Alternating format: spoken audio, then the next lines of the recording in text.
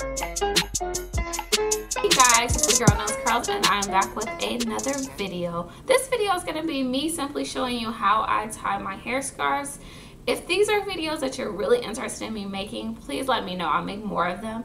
I have so many other ways that I actually tie my hair scarves, so uh, let me know if you're interested and I'll share them all with you. But anyways, keep watching it. So I start off with a scarf that I got from a really beautiful company. Um, it's called Gabe Jade and I'll show you the tag. I don't know if you guys can see. But it's from Gabe Jade. Very beautiful pattern. As you can tell, I've worn it a lot, so it's really wrinkled. Um, but yeah, here it is. Beautiful pattern. Um, so yeah. So what it has it has this tag on the back of this scarf which kind of helps me figure out how I'm actually going to line it up in the back of my head.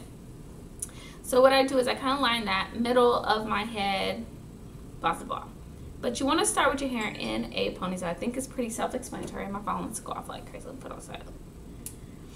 Pineapple or it makes it easier to mold if your hair is in a pineapple or in a bun at the top. Just easier to mold the top of your um, scarf the way I'm to be tying it anyways. So here you go. Line up the tag on the back to pretty much the middle of your head in the back. Just makes it easier. and makes it lined up better. Then what you'll do is you'll crisscross. Crisscross applesauce. Crisscross. Then go to the back. And what I'll do is I tie it one time don't put a knot, just put tie it one time. And then from there, I would take this side and tuck it into this little pocket right here. Very easy. Let me tuck it, tuck it, tuck it. Same thing you'll do with this side. Find the pocket and tuck it.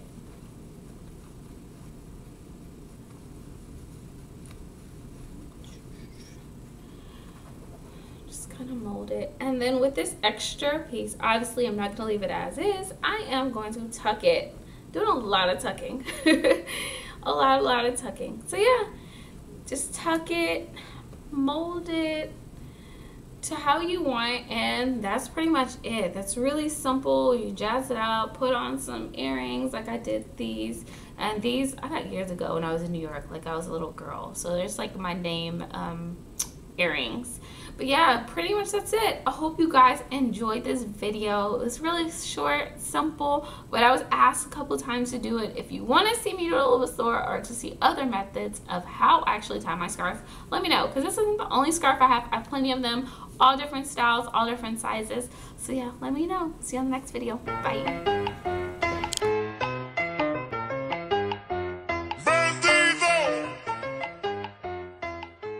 Que